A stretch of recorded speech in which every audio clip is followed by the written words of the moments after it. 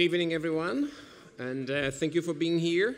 I'm delighted to moderate this panel on competition policy. I am Tommaso Valletti, and I am the uh, director of the um, RPN, CPR RPN on competition policy. So, competition policy is um, pretty hot in recent years, uh, both in terms of policy and in terms of academic research. Um, in particular, academic research, obviously, competition policy is a quintessential field of, of industrial organization, but there has been lots of um, interventions from other fields in economics, which is great. For instance, labor economics has brought to the attention that there is monopoly power also in, in, in the markets that we typically do not understand. Uh, privacy experts, computer scientists have helped to, to understand more about digital platforms. Um, the macro trends of, of, increases when it comes to markups in lots of markets and the, the, the asymmetric distribution of these increases and in, increases in concentration in market. There's also a debate whether, you know, corporate greed is part of inflation, but the topic is too hot. We will not consider that uh, tonight. Um, we also learned in the past few years that uh, as a byproduct of the crisis related to U Ukraine, related to energy, related to the pandemic, that some sectors in our economies are not very resilient. And the uh, opposite of resilience is dependence. So we heard it in the previous panel, so this is a natural continuation. So dependence means depending on a few bottlenecks. So that's a competition problem. We do have bottlenecks in some segments of our economy. So how to deal with those bottlenecks? Uh, is it via, as we heard, a trade policy? Is that via uh, industrial policy? Is it via competition policy? Or the optimal interaction between th those three instruments is what we're going to talk about. And there is a special uh, a special beast is, is digital markets because it really our digital lives when it comes to the way we communicate, we interact, we purchase, depend on a handful of American companies. It's typically four or five, and that's about it. That have a, a global uh, outreach of uh, 3 billion customers each, which is something that we, we haven't had in the, in the past. So there is also a political nature of a problem which has gone beyond the jurisdiction of national boundaries. In the past, we knew how to think about large infrastructure which were within national boundaries, but now these boundaries have disappeared, so it's really complex. I'm delighted uh, not to give you answers myself, because these are very complex, but I have uh, three incredible speakers on the panel. We have um, Isabelle, Isabelle de Silva, who's a former enforcer. She was a president of the French Competition Authority, and uh, she's currently at the Conseil d'Etat here in France. And then we have uh, a Nobel Prize winner you all know about, Jean Tirole from uh, Toulouse. And then we have a current enforcer, Benoit Cœuré, who is the current president of the Autorité de la, de la Concurrence, the National Competition Authority in France. I want to start with uh, Isabelle, because now that she's out, she's not more directly involved in competition policy, she can give us really an, an overview of the many challenges that an enforcer is, uh, is actually facing. And maybe she could also be helpful because this is an academic audience to tell us all the various initiatives which are happening at the EU level when it comes to digital. There is, she's going to tell us about something called the DMA, the DSA, the, recently the Artificial Intelligence Act that last week uh, finally passed in Brussels. I'm, I'm also interested to understand since in a few months we will have a new European Commission, to what extent do we think that competition should be a priority of the Commission? Why should they prioritize comp competition over and above something else? So, I'm interested in these topics from Isabella, and Isabella, the floor is yours. Thank you, Tommaso. I'm very happy to be here with uh, such a distinguished public of academics and also to, to join Tommaso, with which I had uh, pleasure to work for many years. Jean, of course, which we, we, we met several, in several uh, occasions in the past few years, and Benoit, who is now continuing the work at the, the French agency. I would like first to, to take a look back and see uh, how in the past few years we have been able to answer some very critical questions uh, related to the issue of digital platforms and competition. And I think that now is a very good time to, to look back uh, to give us some ideas of what the, the, future European Commission could put on its uh, future agenda. And uh, I reflected on the, what I would say today, looking back over the past 10 years, because now uh, I was thinking about Margrethe Vestager, and I have a friendly thought for her uh, since she, she didn't get the job that she wanted. But I think that uh, we support her and her return to the European Commission in these days.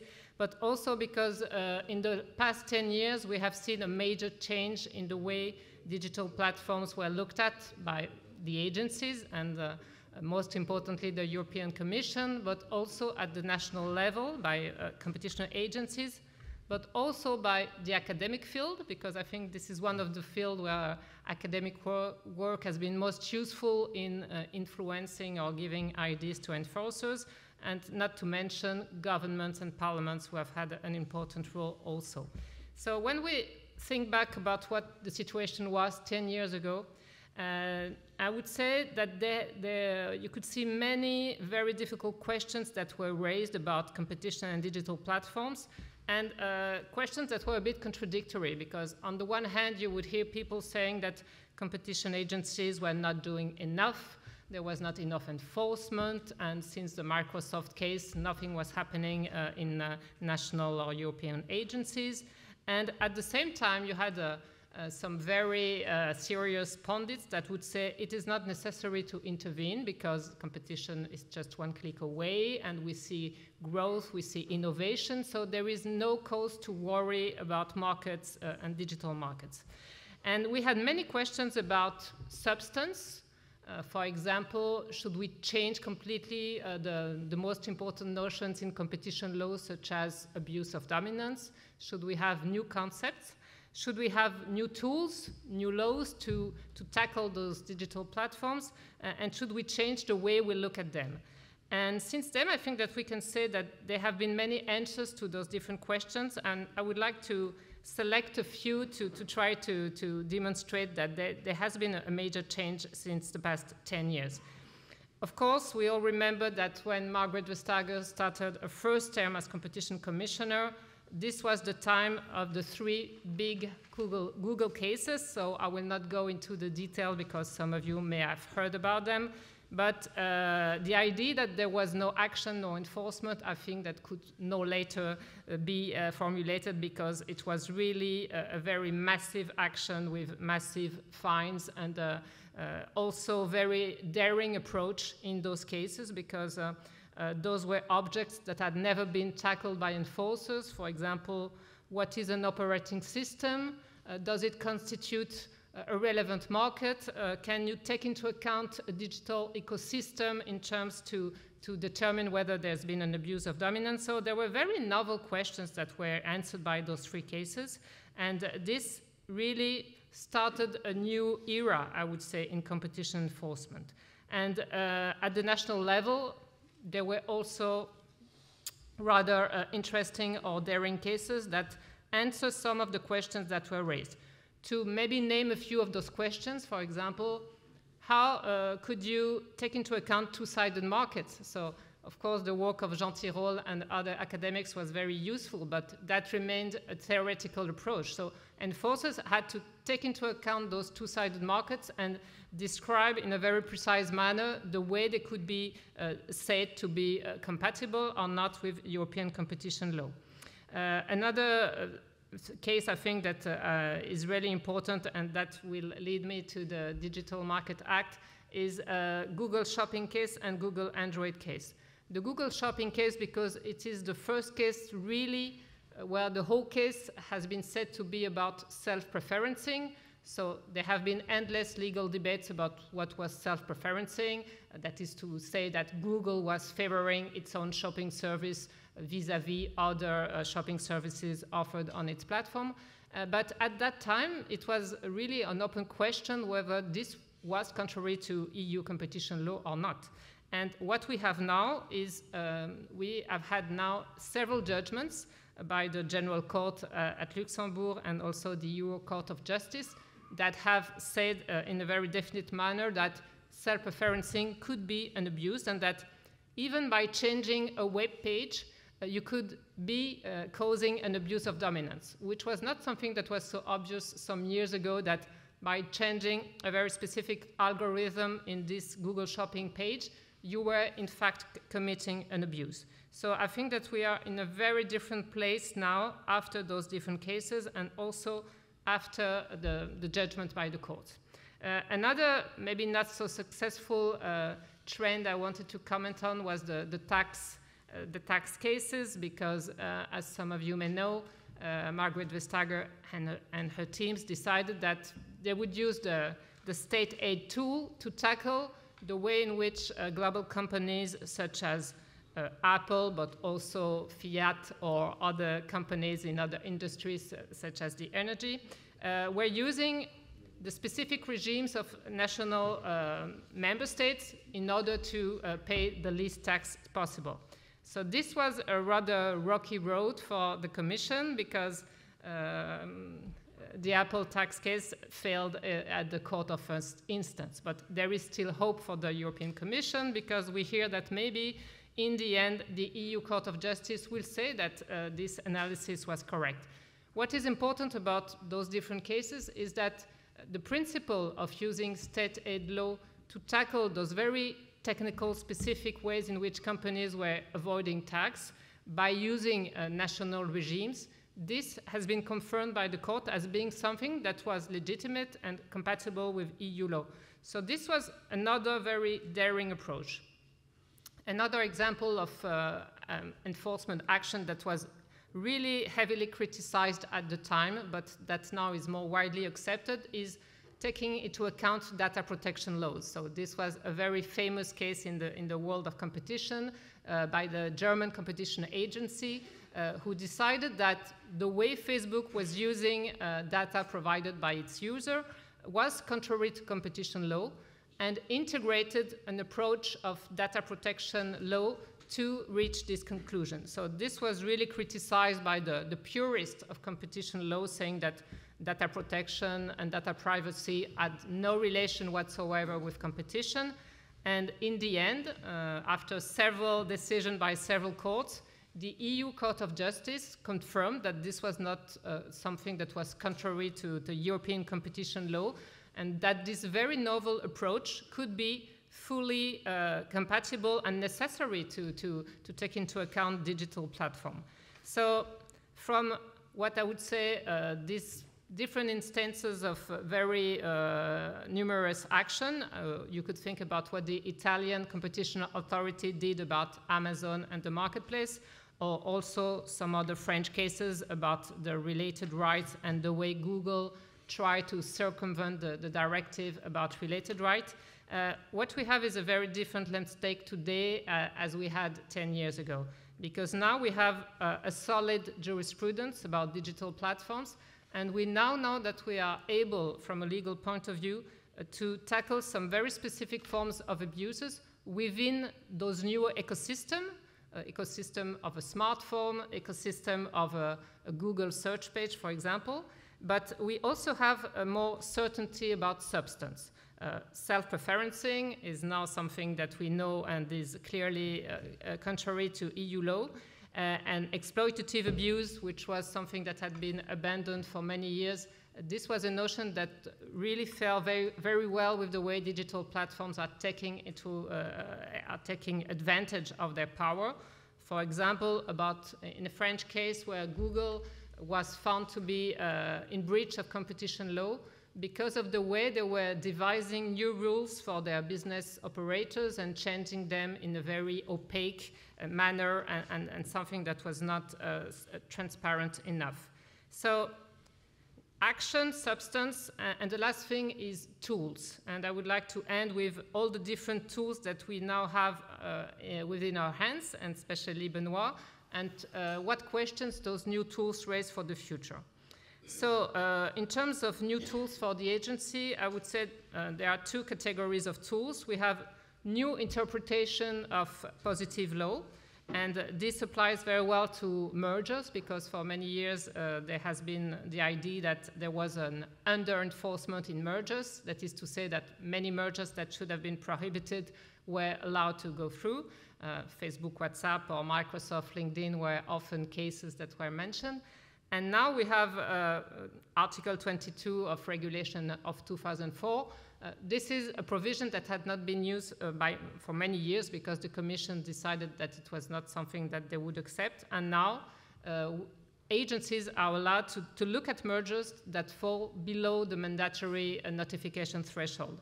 So this is a very big change because um, all this talk about killer acquisition, but also acquisitions that allow a, a platform to, to, build an ecosystem that cannot be uh, subject to competition now, uh, agencies uh, at uh, the European level or national level are able to look at those mergers, and they, are, they have started very actively to do so. Uh, another interpretation of a classic tool uh, is the TowerCast decision by the EU Court of Justice. Uh, that is to say that the Court of Justice affirmed that a simple merger could constitute an abuse of dominance. So that may seem rather esoteric and, very difficult to understand, but what I think is interesting in this decision is that uh, the courts continue to have a rather wide-ranging view of the law because they are aware that, uh, as Tommaso was mentioning, uh, it is really uh, imperative that uh, the market remain active and competitive, uh, and we need, I think, to use all the legal tools as, as much as possible when, of course, they are relevant.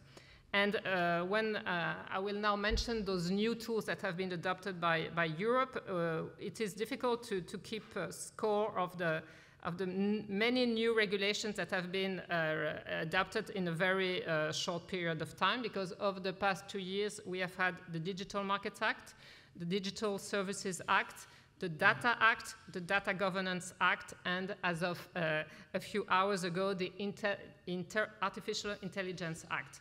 So uh, what can we say about those different acts and, and what questions do those raises for the future? Uh, a first question that uh, I would like to raise is uh, the question of time frame. Uh, when is it a good time to regulate and to regulate new developments uh, such as artificial intelligence?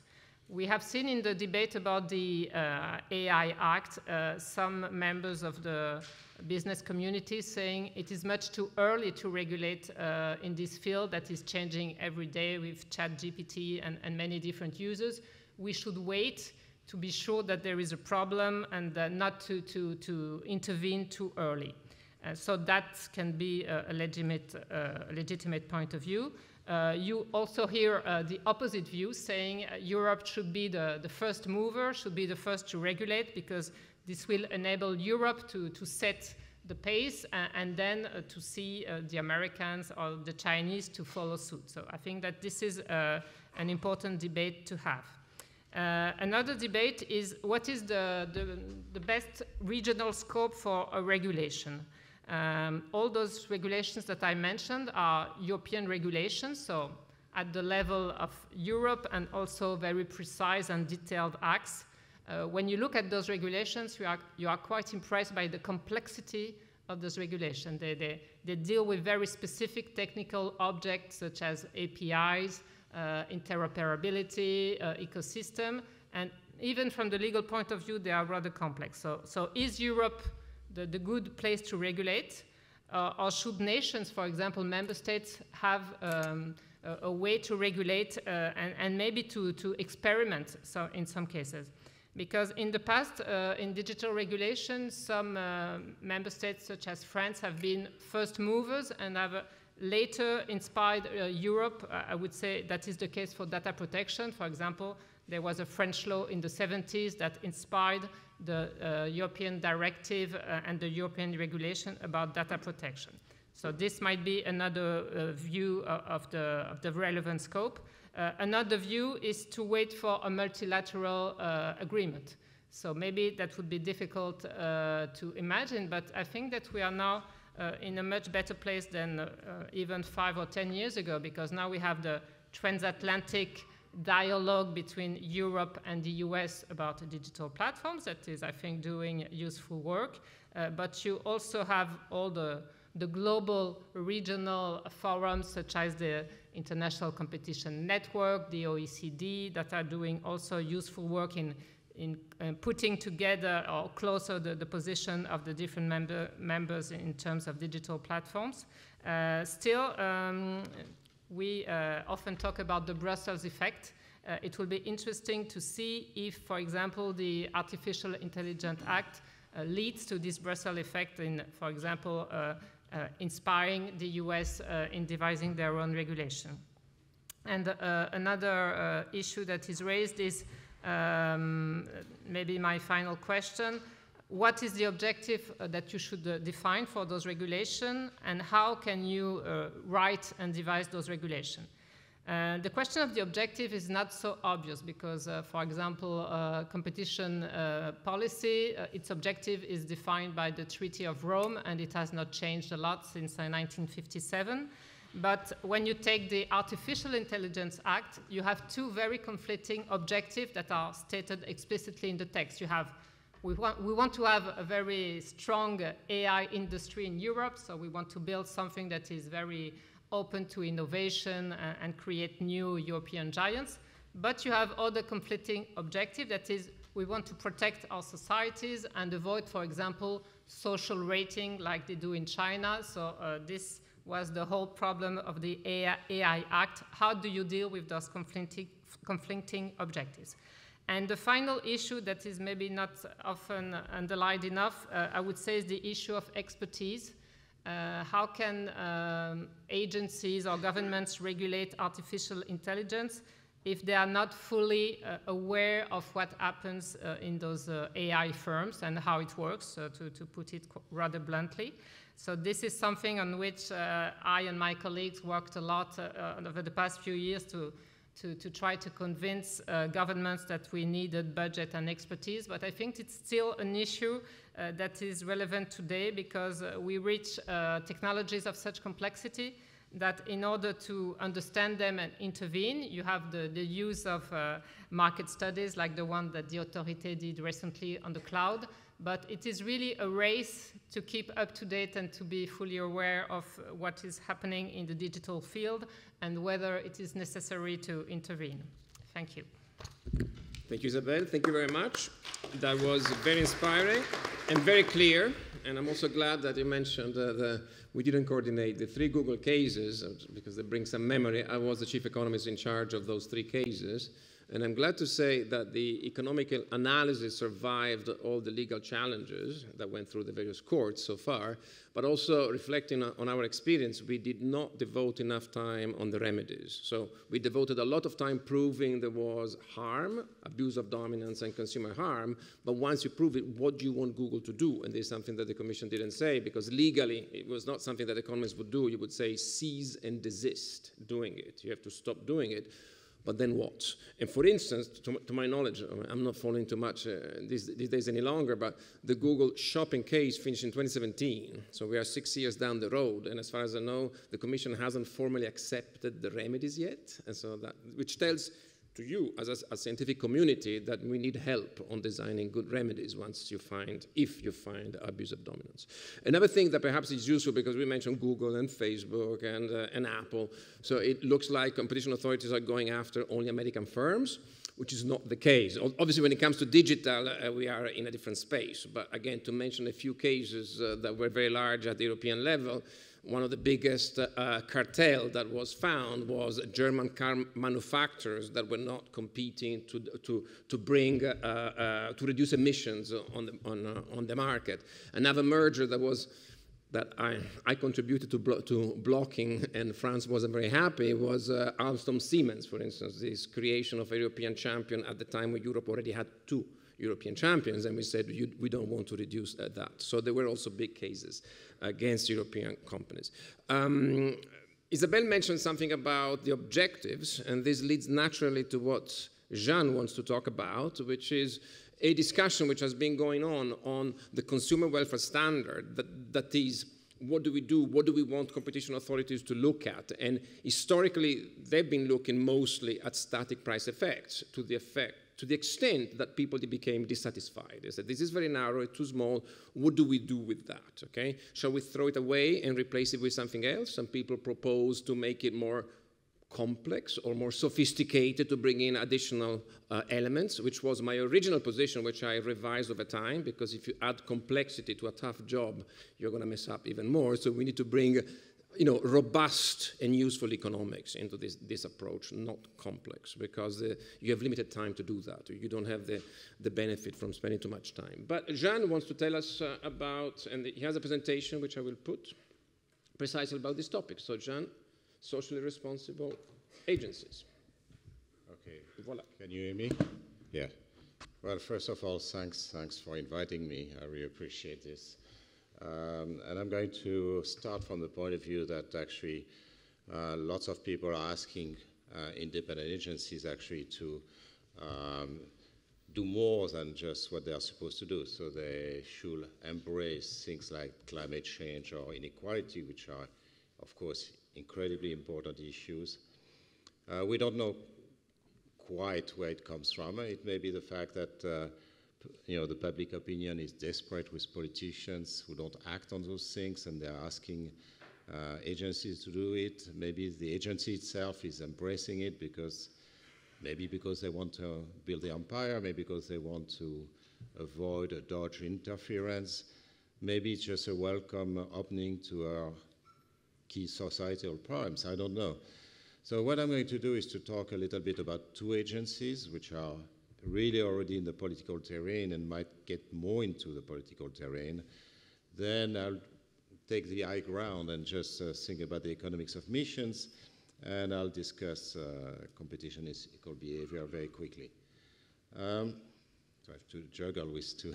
I'm not very good at that. So let's start with central banks. It's, not, of course, the topic of this session, but uh, traditionally they've had very narrow missions. Uh, inflation targets, financial stability. Of course, with the financial crisis, the Eurozone crisis, COVID, and so on, they have gone much further than that, and they've gone into the fiscal domain, for example, um, which is also dangerous because if there had been problems with that, then might, their independence might have been jeopardized. Uh, but today there are many calls for central banks to take on, for example, climate change responsibilities. Um, so integrating climate risk into a stress test, for example, is a no-brainer. It's already in the mission of the central bank. It's a huge macro shock, either the climate risk itself or the policy response to the climate risk. Um, but what about relaxing prudential standards uh, for climate-friendly lending? Somehow people don't talk about raising uh, prudential standards for, uh, for those who have brown, who have brown holdings. Uh, what about purchasing green bonds to reduce their spread? I mean, are we going to manufacture the next subprime, subprime crisis? Um, so uh, let me, there are, there are, several issues. There are at least three issues. Uh, the first is the lack of legitimacy. That can be taken care of at this stage. The central bank is not meant to do that, but you could have the governments giving the right to the central bank to address climate change, fine. It's a bit bizarre because, of course, the politicians don't want to act on climate change. I mean, they of course say they want to, but you know, they don't react on climate change, and then they ask an independent agency to do the job. Um, most importantly, there is a lack of capability. Uh, so the central bank will need to be endowed with a staff to verify emissions. It will, be it will have to be endowed with the right instruments. And by the way, the two big instruments that I'm thinking of is uh, carbon pricing and disruptive innovation. I don't, I don't see the European Central Bank doing that or the Fed. And um, then run, you know, cost-benefit analysis. You know, want, you want an effective climate policy, not greenwashing, and so on. So it's, it's, hard, it's hard to actually sustain the central bank should be doing that. Also, I can see the argument that if nobody does it, works on it, then basically the climate the central bank could be a climate change fight of last resort. Um, let's come back to what we are talking about, which is um, uh, competition policy. So in the past, when I grew up a while ago, you know, we were discussing the left side of, uh, of this diagram. So, you know, a theorist had no qualms. He basically wrote welfare equals consumer surplus plus a fraction between zero and one of the, of the profit. Now, then there was a practical debate about uh, you know, whether you should put more or less weight on profit, and there are arguments pro or against. In the end, it was decided to have a consumer standard basically putting all the weight, with, you know, with caveats, of course, and of course with IP law, we don't do that, but you know, by and large, there is this idea that uh, we should put much more weight on the consumer, and I have nothing uh, to argue against that. But the new Brandeisian movement is actually changing things in a different direction, basically suggesting that the competition authority, Benoit should be, and Isabelle before, before Benoit and Tommaso before, was, uh, was also in charge of uh, solving unemployment, uh, looking at worker wages, taking care of communities, looking at politics, uh, and so on and so forth. Um, so, so that's the question, and you know, should we have, should we have this? And that's a big, uh, that's something we're going to discuss. Um, oops. That's, sorry. Um, no, I went back. Okay. Uh, so let's think a little bit about uh, the optimal response to what is really a twin market and political failures. Think about the environment or the inequality there is clearly a market failure, and market is not going to solve an externality or insurance behind the veil of ignorance. And there is a huge political failure as well. So what is left?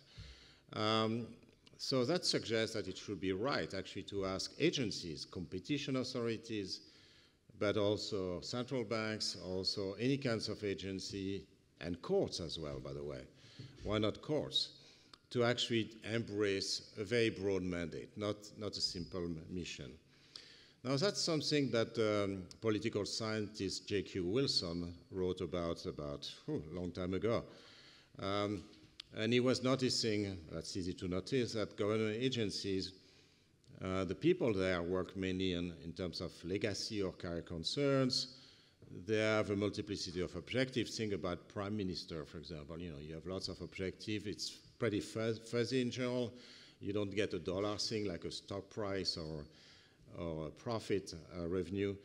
Um, and they have limited autonomy as well uh, for government agencies.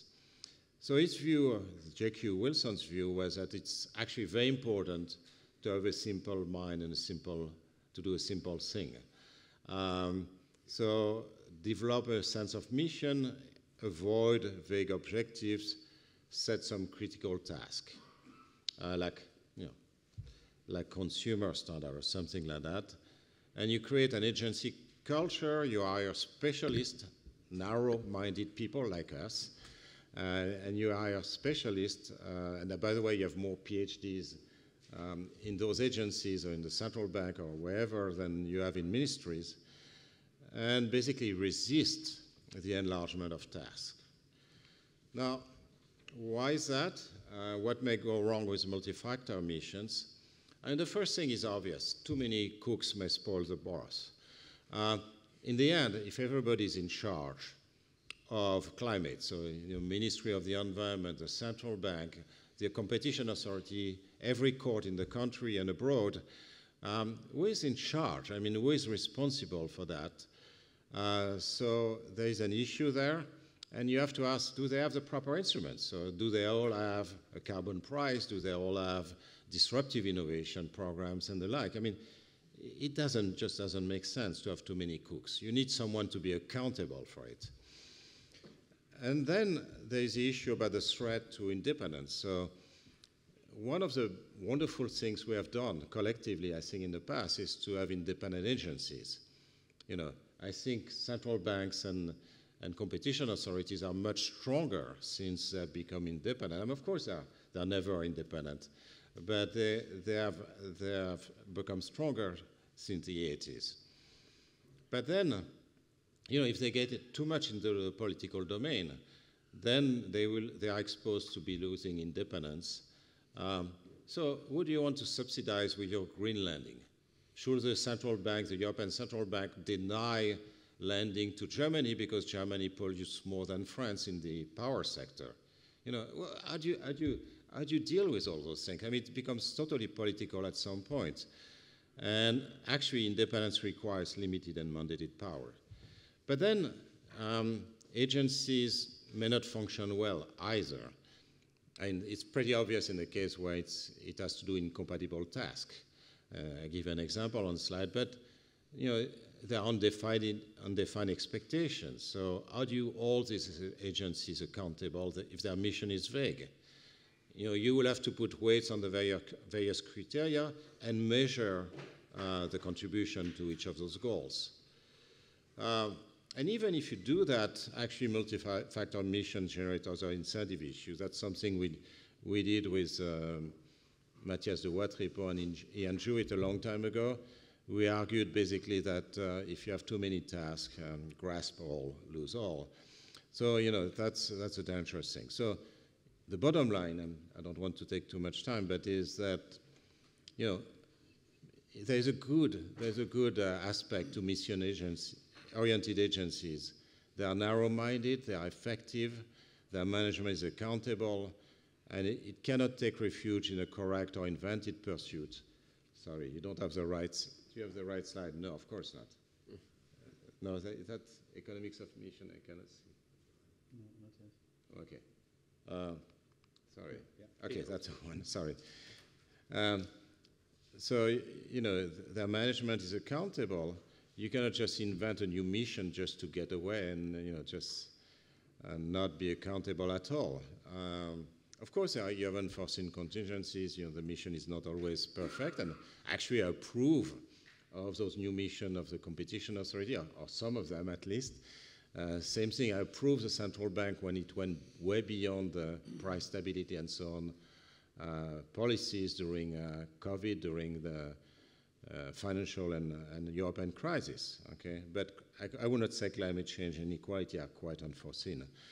Um, okay, so you know the preference for an economist, in my view, is to use the right instrument, better targeted, um, and not not you know the government should basic, basically be accountable. And I understand the argument, you know, um, but you know we have to work on making the government accountable and we don't want to encourage backpassing to many, many different agencies and courts, which in the end are not going to be able to do it. Okay, just a last word, which is a reassurance about competition. There are lots of non-economists who actually claim that uh, competition leads to amoral behavior. Um, and that's something I've, I've, written with Mathias Dewatripont on. Um, I would like to say that actually there's little grain of truth in this argument of those people who don't want competition. And there are very specific circumstances under which actually competition is going to hinder the morality of suppliers. So if the suppliers have social preferences, they won't be able to express those social preferences in the marketplace because they will be immediately replaced by somebody else if the consumers actually want immoral behavior. And it turns out they may want immoral behavior, like when official demands a bribe, when dictator buy weapons, when patients wants to consume opioids, um, when there is disclosure issues where you, you have to disclose the flows of your products. Uh, but in general, there is no notion that competition per se is going to reduce moral behavior at all, and actually sometimes it may increase moral behavior. So uh, it, it, just, uh, since I have many competition uh, authority people and academic in the field, in the room, and in this, on this roundtable, I just want to reassure you, reassure you a little bit on the need for competition. It's, it's real, more or less orthogonal. Okay, uh, well, that's it. Thank you, Jean. Thank you very much. I will now turn to Benoit. Many of you know Benoit because he held, uh, is, a, is held an important policy position with the European Central Bank, the Bank of International Settlements, and now the French Competition Authority. So you have, uh, you're more of a macro person, but now you know inside out also the micro aspects of, of competition. A, a couple of questions for you. you. I don't know if you can answer both or whatever you like. One, one is, Isabelle gave us this vision about digital markets, putting Europe at the center. So what's left for, for, for you, for the French Competition Authority? And secondly, also, it would be interesting because the previous session was on also on industrial policy. So I'm really interested on your views on this interaction between competition policy and industrial policy, where for many years, industrial policy among economics was almost a bad word, no? and now instead there is lots of rethinking, um, Dani Rodrik and others, etc. But, but is, is there a, an interaction between these two instruments? Yeah, thank you. thank you, Tommaso, and uh, good evening, everyone. Uh, I was thinking, Tommaso, that you're really a very brave person, because setting up a, uh, a panel on competition with uh, three French speakers is a kind of a risky bet. Uh, especially coming after another panel on, on economic sovereignty. so you're, you're, kind of tempting us. Okay. So um, I, uh, before answering your questions, Tommaso, I would, if I may, just say, uh, just react very shortly to what Jean just said. And, and, then I'm going to answer Tommaso, and basically what I'm going to do is to follow up on Isabelle and maybe based on everything Isabelle said, which I agree, uh, uh address a few um, uh, questions or issues for the future, for the next term of the Commission and Parliament, based on, on, the achievement that, that uh, uh, outlined. But, but first to, to Jean, I was, what you said, Jean, is really, was really music to my ears because it, it, resonates very much to my, with my experience both at the ECB and, and now in a, um, as an antitrust enforcer. I mean, the relation when you're when you're running an independent uh, an independent agency, uh, you always feel that, uh, that politicians are coming with a uh, kind of uh, passive aggressive stance where when you do what you have to do, that is cutting rates or raising rates or enforcing, enforcing competition, they're not so happy. Um, but then they always come to you with like 10 many 10, 10, 10 additional things you would, they would like you to do because they don't want to do it because it would be just too, too politically costly for them to do it. So that was the case in the Eurozone crisis, and uh, I, I, sometimes feel, feel, feel it also in, uh, in, uh, in antitrust. So it's good to have your uh, framework, Jean, to uh, help us resist uh, in the name of reason and science. I'll try to do that. Um, that said, of course, um, our legal mandate is probably broader than you would think. Uh, and uh, for instance, in the French law, uh, as, as, Isabelle knows very well, you can possibly allow a merger in the name of economic progress, le progrès économique. What does it mean? We don't know. And to be sure that we would we would not have to answer that question. We've set the standard so high that we're, we're actually never doing that, um, but uh, we could. Uh, and so there is a there is a legal there is some legal space to to go beyond consumer welfare and to broaden the uh, the, the, scope. Uh, and then it's a matter of judgment whether you want to do it or not. It's not as you know the mandate is not that narrow, and, and it gives some space. And also there are some higher requirements in the EU treaty. Article 11 of the treaty says that. Uh, um, um, sustainability uh, uh, and protecting the environment should be an overarching uh, objective for all EU policies, of which competition is one. It is an EU policy.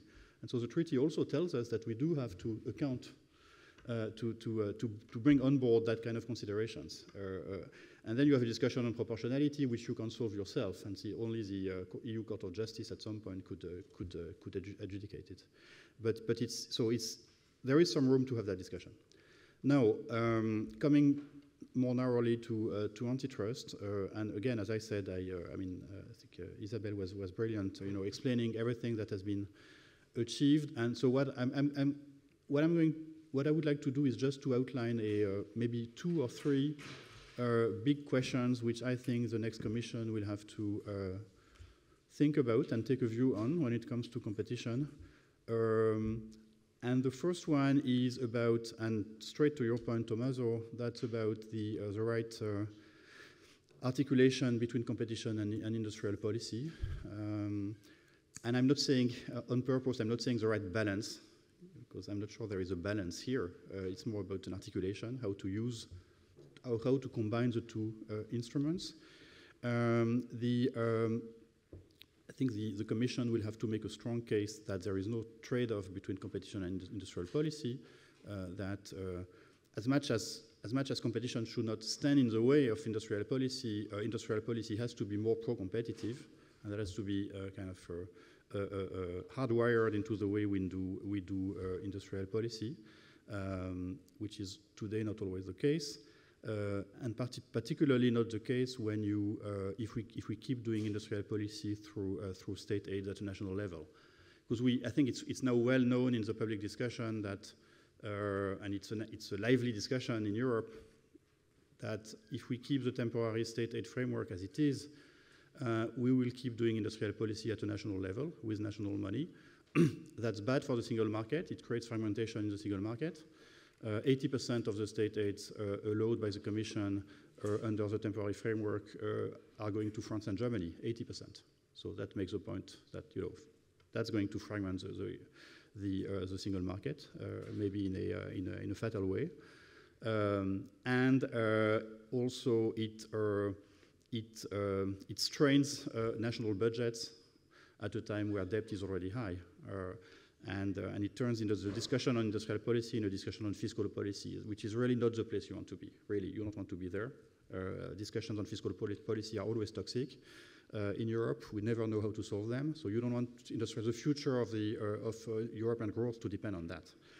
Um, and so, of course, we know the, uh, that one way out is to have European instruments to fund, to fund industrial policy. Uh, it's very easy to say that on a panel at Sciences Po at, at, 7 p.m. We know that there is very little political appetite uh, in member states, uh, in, in, in, in, major member states, uh, even less so after the, uh, the decision of the, uh, of the German Constitutional Court on the, on the German budget. but we'll, we'll, have to, we'll have to confront this, that we need European funding for, for industrial policy. Um, and we, need, we need to complete the single market. You, need, you, need, you want the market to be European. Uh, and so there is often this discussion, including here, or maybe primarily here in France, that if you want to support industrial policy, you've got to, uh, to tweak competition policy and change the definition of relevant markets to make them broader. Um, because if, if, any, if any relevant market is European or global, uh, you, can, you, can, uh, uh, you can allow for more mergers and there will be more uh, European champions. I think that's exactly the wrong way to look at it. Uh, you've got to, uh, uh, the, the, relevant markets have to follow the reality of the markets. So first integrate markets, and when markets are integrated, then comp competition authorities naturally uh, will adapt to, to, the reality of the market and, uh, and will decide based on the European market. Uh, but you can't decide on a European, you can't, you can't, you can't allow a merger based on the false pretense that it's a European market if the market is national. And that's true in telecoms, that's true in, uh, in, uh, in, uh, in, in, in, the, in audiovisuals, that's true in energy, and, and, and so on. And why am I mentioning this on, in a panel on competition? Because if we keep doing industrial policy at a national level, it's also it's, it's, we, it's inevitable that it collides with competition. Because we are going to, uh, member states want to have national champions at a national level, which is understandable.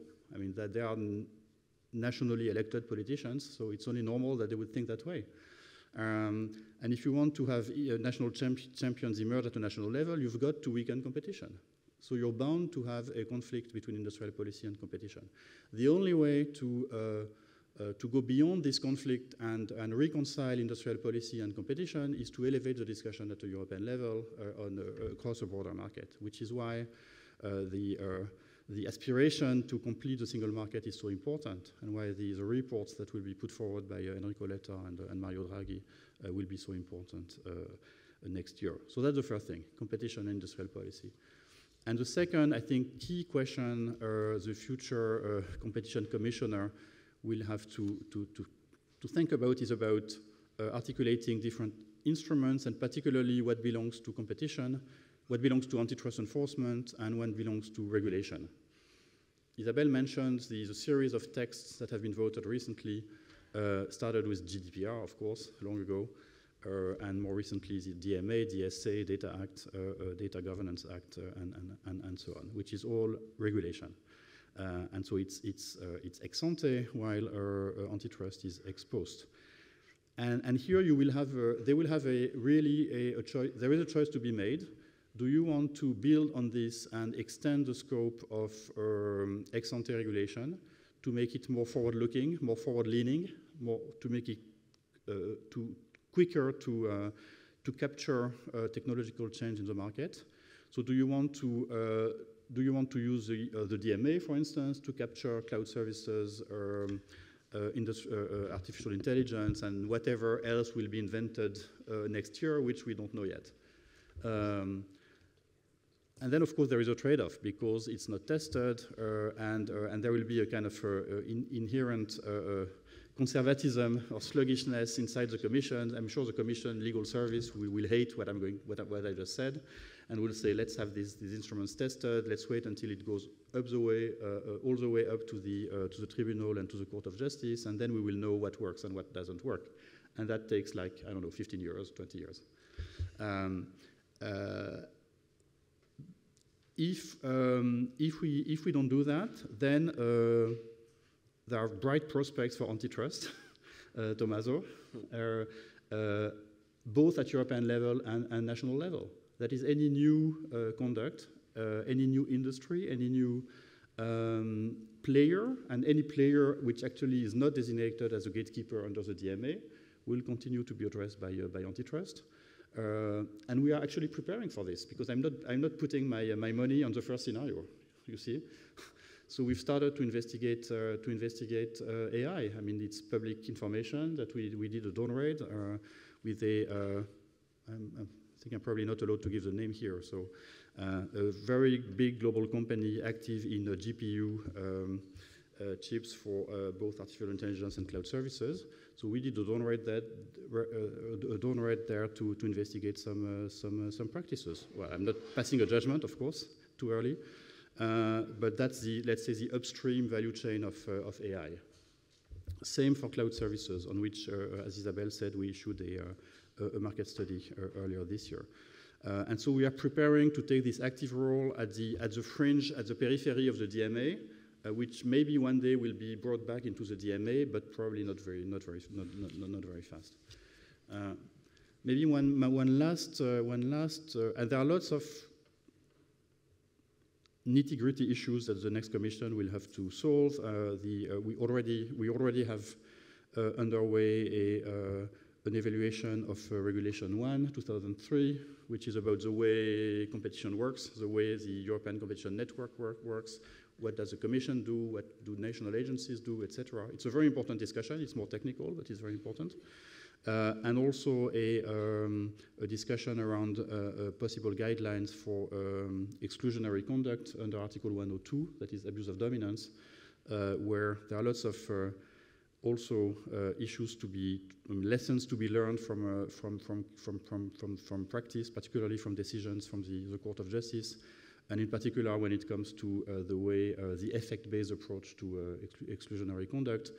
That might seem very arcane, but it's very important for competition economists because that's uh, uh, really about the way you show the effects, uh, and there is a lot of, as, as, all competition economists know in this room, there is a lot of research and modeling, particularly around the, the um, uh, as efficient competitor test. So that will that will kind of test the relationship between between IO economics and competition in a in a very in a very practical way. Uh, maybe my last point here is about uh, international cooperation because the whole the whole the, narrative, the political narrative of this commission, and I'm pretty sure this will be the political narrative of the next commission, is um, we are here, we are standing for European sovereignty, we are a geopolitical commission, uh, etc., uh, with a sense that we, we want to protect our industry, we want to protect our citizens. Um, so, which is really ironic from a, as seen from a, from a, from a, from, a, from an antitrust person, because the, uh, the project is we want to, we want to build our walled garden with our, and, and our moated castle, you know, which is exactly what we've tried to, to, to fight against uh, in, uh, in antitrust in the last, in the last 10 years.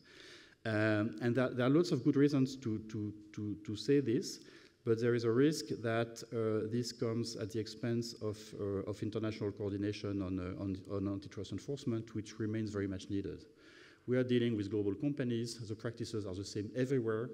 Uh, when we have a, whenever we have a discussion among enforcers on, say, AI, we, we, we're having the same discussion. It's the same practices, the same risks that we see.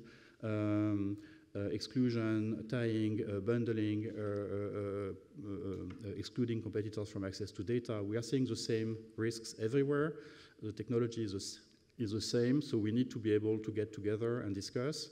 And we have these big merger cases where we, we need cooperation between enforcers and when, they, when it doesn't work, uh, it's very apparent. Uh, you know, uh, when the US, UK, and EU don't, don't take the same decision with the same remedies, the industry is confused, and rightly so. So that's really some, something we should be trying to avoid. But uh, so the, uh, my, my, plea for the next commission is yes, you should stand for European sovereignty. Yes, we should uh, uh stop being naive. Uh, yes, we should uh, enforce a level playing field with, with non-European companies, but let's, let's try not to do it at the expense of international cooperation. So of course, I don't know, if, if Mr. Trump is re-elected, the whole multilateral framework might be blown away, and that will be a different discussion, but I'm, I'm kind of uh, in, the, uh, in the baseline scenario when, uh, where this doesn't happen. I stop here. Thank you very much, Benoit. Thanks a lot. And um, it's two minutes to seven o'clock. Since, since, Isabelle was the first one to talk, and uh, now you have the benefit of having heard the other guys, I will allow you to finish and, uh, and conclude the panel for tonight. Thank you, Tommaso I think, like Benoit, that the power of international network uh, cannot be really uh, undervalued, and um, it is critical. I always say that uh, to regulate platforms, you need to act uh, like a platform and, and use the benefit of all the resources, cooperation between agencies, cooperation between Europe and the US. The US is following the lead of Europe in terms of enforcement. The UK is having its own uh, digital platform regulation that should be adopted in the next few days. So we are much more convergent than we were um, 10 years ago. And uh, on the issue that uh, Jean raised about uh, the social mandate of agencies and should they have a broader mandate, I think that there is a strong push, uh, even within the agencies, for example, to tackle climate change, because uh, uh, the, the, board members or, or the young people working at the agencies also want to contribute to this. So I think it's something we must take into account. And I think that there are some very legitimate way to take into account this climate change objective within our own remit and objective. And we have had, for example, a case in 2017 where we uh, identified a, a, breach of competition that at the same, same time was a, a damage to the environment. So I think that there are some intelligent ways to uh, to kill two birds with the same stone uh, without uh, going in all different directions, like uh, Benoit was saying, because uh, I know that agencies are. Uh, at the end of a lot of demands and hopes and the requests that are not always legitimate. So you should keep on resisting the doing too many things at the same time. Thank you. John, please take the panel. Thank you very much.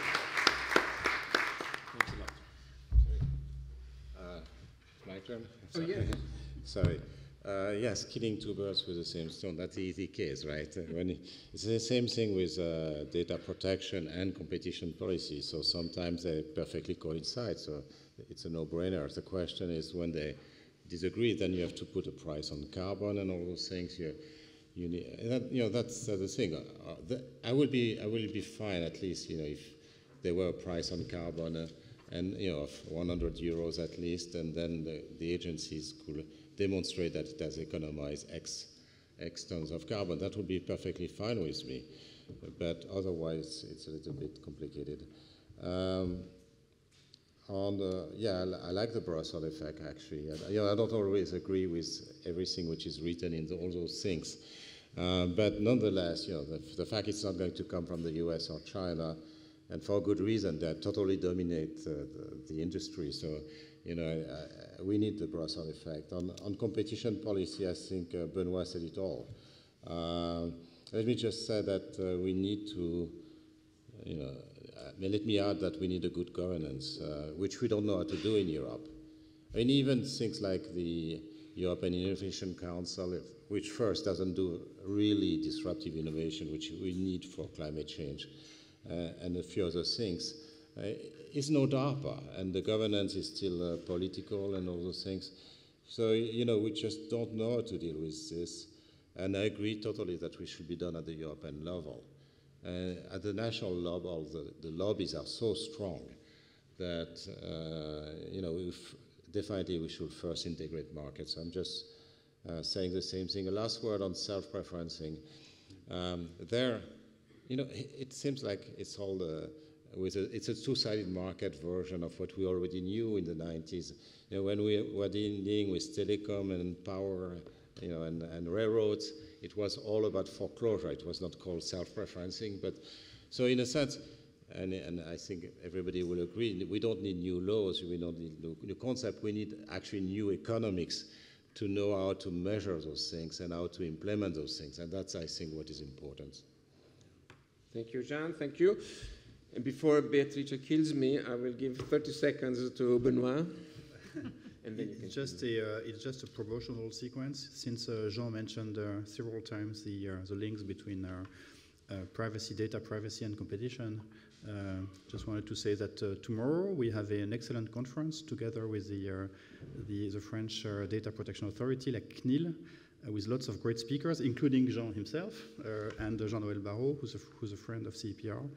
Uh, and that will be webcasted. So of course it's competing with the CEPR symposium, but who's against competition? Thank you. Thank you everybody again. Thank you.